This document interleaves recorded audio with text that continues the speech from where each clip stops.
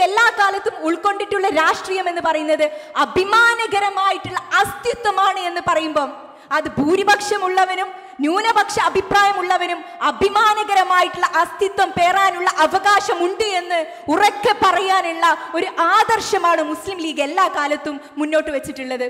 ഏറെ ബഹുമാന ആദരവുകൾ നിറഞ്ഞ ഈ ചടങ്ങിന്റെ അധ്യക്ഷൻ എം എസ് എഫിന്റെ ജില്ലാ പ്രസിഡന്റ് അഫ്നസ് ചോറോട് യൂത്ത് ലീഗിന്റെ ജില്ലാ പ്രസിഡന്റ് മിസ് ഹബ്കി അരിയൂർ. ഇവിടെ ഈ സംഗമത്തിൽ ഒത്തുകൂടിയിട്ടുള്ള യൂത്ത് ലീഗിന്റെയും എം എസ് എഫിന്റെയും ഹരിതയുടെയും ഒക്കെ സഹപ്രവർത്തകരെ സുഹൃത്തുക്കളെ നമസ്കാരം. അസ്സലാമു അലൈക്കും വറഹ്മത്തുള്ളാഹി വബർക്കാത്തു വളരെ സുന്ദരമായിട്ടുള്ള ഒരു ആശയം സംസാരിക്കുന്നതിന് വേണ്ടിയിട്ടാണ് ഇങ്ങനെയൊരു സന്ദർഭത്തിൽ നമ്മൾ ഒത്തുകൂടിയിട്ടുള്ളത്. എനിക്ക് ഉറപ്പുണ്ട് ഇതിനു മുൻപ് നടന്ന സംസാരങ്ങളിലൊക്കെ അത്തരത്തിലുള്ള വിഷയത്തെക്കുറിച്ച് അതിന്റെ ഓരോ കാലിക പ്രസക്തമായിട്ടുള്ള സംഭവങ്ങളെക്കുറിച്ചൊക്കെ പരാമർശിച്ച് കടന്നു പോയിട്ടുണ്ടാകും. എന്നിരുന്നാലും ആദ്യം തന്നെ ഇത്തരത്തിലുള്ള ഒരു ആശയം സർഗസ്വത്വം സമന്വയ സമൂഹം എന്നുള്ള ഒരു ആശയത്തിനെ കുറിച്ച് സംസാരിക്കാൻ വേണ്ടി തിരഞ്ഞെടുത്തിട്ടുള്ള എം എസ് എഫിന്റെ സംസ്ഥാന കമ്മിറ്റിയെ ഞാൻ ആദ്യം തന്നെ അഭിനന്ദിക്കുകയാണ്. അതിലേറെ ഇത്തരത്തിലൊരു പരിപാടി വളരെ ഗംഭീരമായി നടത്തിയ എം എസ് എഫിന്റെ ജില്ലാ കമ്മിറ്റിയെ അഫ്നാസ്കയും സ്വാഹിബും അടങ്ങുന്ന എന്റെ സഹപ്രവർത്തകരെ കൂടി ഈ ഒരു അവസരത്തിൽ ഞാൻ അഭിനന്ദിക്കുന്നു. സർഗസ്വത്വം സമന്വയ സമൂഹം. എന്ത് പഠിച്ചു? എന്താണ് ഈ വാക്കുകൾ കൊണ്ട് അർത്ഥമാക്കുന്നത്? സർഗസ്വത്വം എന്നാൽ ഇംഗ്ലീഷിൽ നമുക്കതിനെ ക്രിയേറ്റീവ് ഐഡന്റിറ്റി എന്ന് വിളിക്കാം. ക്രിയേറ്റീവ് ഐഡന്റിറ്റി എന്താണ് ക്രിയേറ്റീവ് ഐഡന്റിറ്റിയെ കൊണ്ട് ഉദ്ദേശിക്കുന്നത്? നമ്മൾ പലതരത്തിലുള്ള സ്വത്വത്തെക്കുറിച്ച് സംസാരിച്ചു കൊണ്ടിരിക്കുന്ന ഒരു കാലത്താണ് ജീവിക്കുന്നത്. സ്വത്വ പ്രതിസന്ധിയെക്കുറിച്ച് സ്വത്വബോധത്തെക്കുറിച്ച് സ്വത്വം പേറുന്നവരായി ജീവിക്കുന്ന ഒരു വർത്തമാന കാലമാണിത് എന്തുകൊണ്ടാണ് നമുക്ക് ഇതൊക്കെ പേറുന്നവരും അഭിമാനം കൊള്ളുന്നവരും അല്ലെങ്കിൽ പ്രതിസന്ധി അനുഭവിക്കുന്നവരുമൊക്കെ ആയിട്ട് പറയേണ്ടി വന്നിട്ടുള്ളത്. ന്യൂനപക്ഷം ഭൂരിപക്ഷം. Hindu Muslim Christian Sikh Parsi. ആണ് പെണ്ണ്. ട്രാൻസ്ജെൻഡർ. ഇനി ഇത് പോരാതെ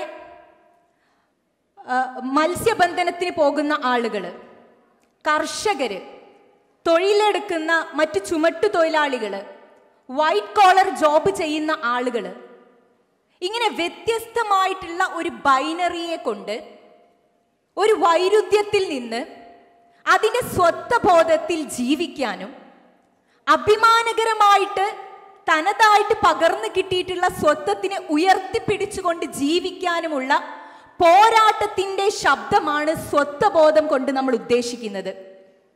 സർഗസ്വത്വം എന്ന് പറയുന്നത് ആ പോരാട്ടത്തിന്റെ വഴിയാണ് എന്നുള്ളത് നമ്മൾ തിരിച്ചറിയണം. ഒരു സമര ബോധ്യമാണ് സർഗസ്വത്വം എന്നുള്ളത്. അത് നയിക്കുന്നത് നമ്മളെ ജനാധിപത്യത്തിലേക്കാണ് എന്നുള്ള തിരിച്ചറിവിൽ നിന്നാണ് സർഗസ്വത്വത്തിനെ കുറിച്ച് നമുക്ക് സംസാരിക്കാൻ കഴിയുന്നത്. അങ്ങനെ ജനാധിപത്യത്തിനെ കുറിച്ച് നമ്മൾ സംസാരിക്കുമ്പം സ്വാതന്ത്ര്യത്തിനെ കുറിച്ച് നമ്മൾ സംസാരിക്കേണ്ടതായിട്ടുണ്ട്. സ്വാതന്ത്ര്യത്തിന്റെ അതിർവരമ്പുകളെ കുറിച്ച് നമ്മൾ സംസാരിക്കേണ്ടതായിട്ടുണ്ട്. അങ്ങനെ ഒരു സ്വാതന്ത്ര്യത്തിന് അതിർവരമ്പുണ്ടോ എന്ന് ചോദിക്കുമ്പോൾ യഥാർത്ഥത്തിൽ സ്വാതന്ത്ര്യം എന്താണ് എന്നുള്ളതിനെ കുറിച്ച് നമ്മൾ പറയേണ്ടതായിട്ടുണ്ട്. സ്വാതന്ത്ര്യം എന്ന് പറയുന്നത് എന്റെ വ്യക്തിത്വത്തിനെ യാതൊരു പ്രയാസവുമില്ലാതെ പ്ര- ആ, പ്രക്ഷോഭിക്കാൻ സാധിക്കുക എന്നുള്ളതാണ് സ്വാതന്ത്ര്യം എന്നുള്ളതിനെ കുറിച്ച് നമ്മൾ പറയുന്നത്. പക്ഷെ അത് അങ്ങനെയൊക്കെ ആണെങ്കിൽ തന്നെ സ്വാതന്ത്ര്യത്തിന് ചില അതിർവരമ്പുകളുണ്ട്. ഇപ്പോ ഈ വേദിയിൽ നിന്ന് ഞാൻ നിങ്ങളോട് സംസാരിക്കുകയാണ്. ഇതേ സമയത്ത് നിങ്ങൾ എന്നോട് സംസാരിച്ചാൽ അതെങ്ങനെ പ്രായോഗികമാകും? ഞാൻ സംസാരിക്കുമ്പം നിങ്ങൾ മിണ്ടാതിരിക്കുകയാണ്. അത് നിങ്ങൾ നിങ്ങളുടെ സ്വാതന്ത്ര്യത്തിനെ പരിധിപ്പെടുത്തലാണ്. അങ്ങനെ ചില സമയങ്ങളിലൊക്കെ നമ്മൾ ഒരു വിട്ടുവീഴ്ചയുടെ മനോഭാവത്തിലേക്ക് മാറുമ്പോഴാണ് അവിടെ ജനാധിപത്യപരമായിട്ടുള്ള കാര്യങ്ങൾക്ക് നിർവഹണത്തിന് സാധ്യതകൾ ഉണ്ടാവുന്നത്. അത്തരത്തിലുള്ള ഒരു ചിന്തയിലേക്ക് ഒരു രീതിയിലേക്ക് നമ്മളൊക്കെ മാറണം എന്നുള്ളതാണ് ഈ സർഗസ്വത്വം എന്നുള്ള ആശയത്തിലൂടെ ഞാൻ നോക്കിക്കാണുന്നത്.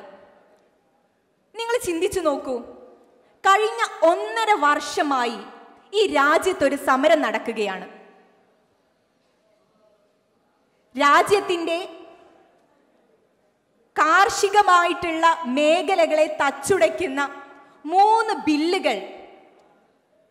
യാതൊരു ചർച്ചയും കൂടാതെ ഏകാധിപത്യങ്ങളെ പോലെ ഫാസിസ്റ്റ് ശക്തികൾ പാസാക്കിയപ്പം അതിനെതിരെ സമരരംഗത്തേക്ക് യാതൊരു ചിഹ്നവുമില്ലാതെ അല്ലെങ്കിൽ മതസ്വത്വത്തിനെയോ മതപരമായിട്ടുള്ള എല്ലാ തരത്തിലുള്ള ആശയങ്ങൾക്കും അപ്പുറത്ത് നിന്ന് എല്ലാവരും ഒരുമിച്ച് വന്നു. പക്ഷെ ഈ സമരത്തിൽ സിഖ് വിഭാഗത്തിൽപ്പെട്ട ആളുകളുടെ ദൃശ്യത കൂടിയപ്പം ഫാസിസ്റ്റുകൾ പറഞ്ഞിരുന്ന കാര്യം നോക്കൂ ഇവിടെ ഖാലിസ്ഥാൻ തീവ്രവാദമാണ് നടക്കുന്നത് എന്നുള്ളതാ. ഫാസിസ്റ്റുകൾ ഉപയോഗിക്കുന്ന ആശയം എന്ന് പറയുന്നത് സ്വത്വത്തിനെ തിരിച്ചടിക്കാനുള്ള ഒരു ഉപാധിയായിട്ട് മനുഷ്യന്റെ മുന്നിലേക്ക് മാറ്റുന്ന രീതിയാണ് നമ്മൾ കണ്ടുകൊണ്ടിരിക്കുന്നത്. എന്നാൽ ഇവിടെയാണ് നമ്മൾ ഓരോരുത്തരും ഉയർത്തിപ്പിടിക്കുന്ന ഇന്ത്യൻ യൂണിയൻ മുസ്ലിം ലീഗ് എന്ന് പറഞ്ഞ പാർട്ടിയുടെ പ്രസക്തിയെ നമ്മൾ കാണേണ്ടത്. ഇത്തരത്തിലുള്ള വിഷയങ്ങൾ സാമുദായികമായിട്ടുള്ള വിഷയമല്ല ഇത്. ഈ നാടിന്റെ കെട്ടുറപ്പിനെ ഭദ്രത സൂക്ഷി അത്രമാത്രം ഭദ്രമാക്കേണ്ട ഒരു വിഷയത്തെക്കുറിച്ച് സംസാരിക്കുമ്പം അവിടെ സ്വത്വം എന്നുള്ള ഒരു കാര്യം കൊണ്ടുവന്ന് തിരിച്ചടിക്കാനുള്ള ഫാസിസ്റ്റ് മനോഭാവത്തിനെതിരെ സംസാരിക്കുമ്പം ഉറക്കെ സംസാരിക്കേണ്ടത് സ്വത്വഭൂതത്തിൽ സ്വത്വബോധത്തിൽ ഊന്നി തന്നെയാണ് എന്നുള്ളതാണ് നമ്മൾ സംസാരിച്ചു കൊണ്ടിരിക്കുന്ന രാഷ്ട്രീയത്തിന്റെ പ്രത്യേകത എന്ന് പറയുന്നത്. ഫാസിസ്റ്റുകൾ സ്വത്വത്തിനെ മുന്നിൽ നിർത്തിയിട്ട് വിഭാഗീയത സൃഷ്ടിക്കാൻ ശ്രമിച്ചുകൊണ്ടിരിക്കുകയാണ്. എന്നാൽ ആ വിഭാഗീയതയല്ല വേണ്ടത്. ഇവിടെയുള്ള ന്യൂനപക്ഷർക്ക് ഇവിടെയുള്ള മറ്റ് വ്യത്യസ്തരായിട്ടുള്ള ആളുകൾക്ക് ഇതേ സ്വത്വത്തിൽ നിന്നുകൊണ്ട് അവകാശ പോരാട്ടം നടത്താൻ പറ്റുക എന്നുള്ളതാണ് പ്രിയപ്പെട്ടവരെ നമ്മൾ ഉയർത്തിപ്പിടിക്കുന്ന ഈ റെപ്രസെന്റേറ്റീവ് പൊളിറ്റിക്സ് എന്ന് പറയുന്നത്. ആ റെപ്രസെന്റേറ്റീവ് പൊളിറ്റിക്സിന് ഈ നാട്ടിലുള്ള സമുദായങ്ങൾ അവകാശ പോരാട്ടങ്ങൾക്ക് വേണ്ടി ഒന്നിക്കേണ്ടതായിട്ടുണ്ട്.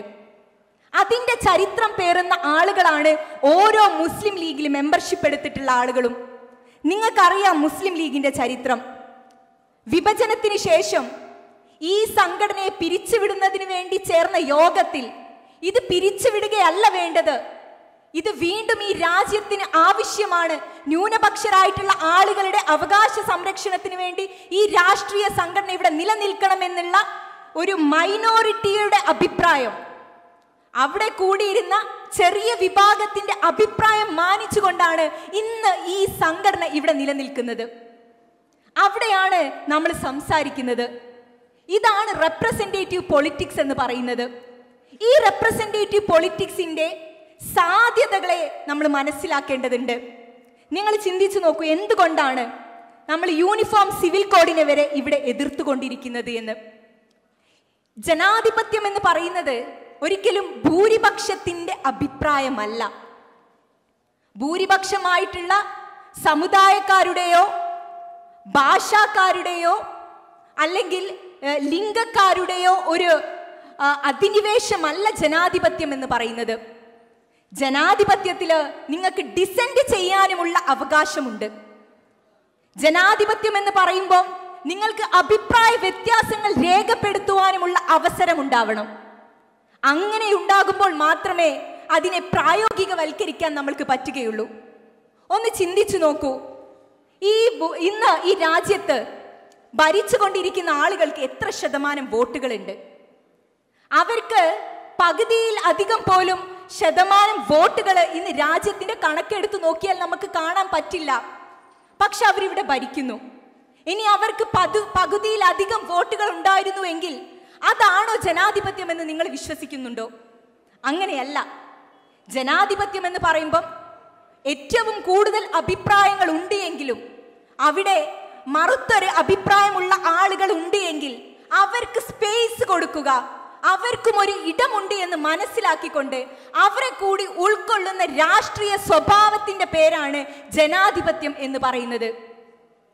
ജനാധിപത്യ ബോധമാണ് മുസ്ലിം ലീഗിന്റെ രാഷ്ട്രീയം എന്ന് പറയുന്നത്. മുസ്ലിം ലീഗ് എല്ലാ കാലത്തും ഉൾക്കൊണ്ടിട്ടുള്ള രാഷ്ട്രീയം എന്ന് പറയുന്നത് അഭിമാനകരമായിട്ടുള്ള അസ്തിത്വമാണ് എന്ന് പറയുമ്പം അത് ഭൂരിപക്ഷമുള്ളവനും ന്യൂനപക്ഷ അഭിപ്രായമുള്ളവനും അഭിമാനകരമായിട്ടുള്ള അസ്തിത്വം പേറാനുള്ള അവകാശമുണ്ട് എന്ന് ഉറക്കെ പറയാനുള്ള ഒരു ആദർശമാണ് മുസ്ലിം ലീഗ് എല്ലാ കാലത്തും മുന്നോട്ട് വെച്ചിട്ടുള്ളത്.